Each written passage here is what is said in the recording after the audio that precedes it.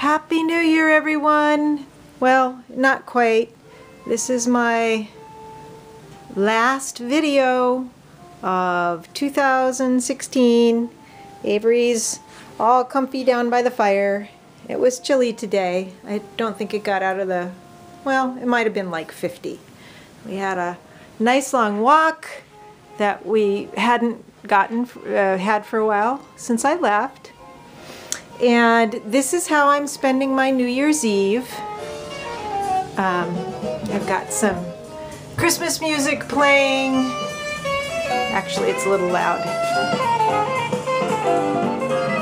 And I'm to be making myself some sweet potato and Yukon Gold latkes and a nice spinach salad with pine nuts. And I'm to have some of my Polish porter and maybe for a treat a little bit of this absinthe that Laurel gave me for Christmas and that I managed to get home safely.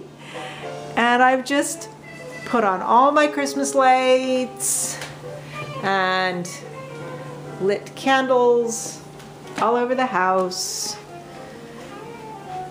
My lamp hasn't come on yet. I have it on a timer from when I was gone. But I kind of like it in here like this. Got the Christmas tree lit, even if it's not focusing because of the light. Mm -hmm. Come on, you can focus for me. I know you can do it.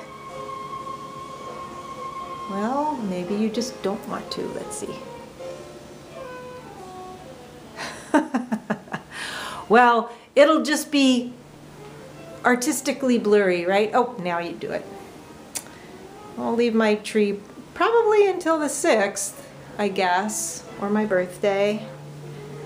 Um, but it's just very nice and cozy inside, and um, I feel very grateful to have what I have in my life. 2016 was a rough year for a lot of people for a lot of different reasons.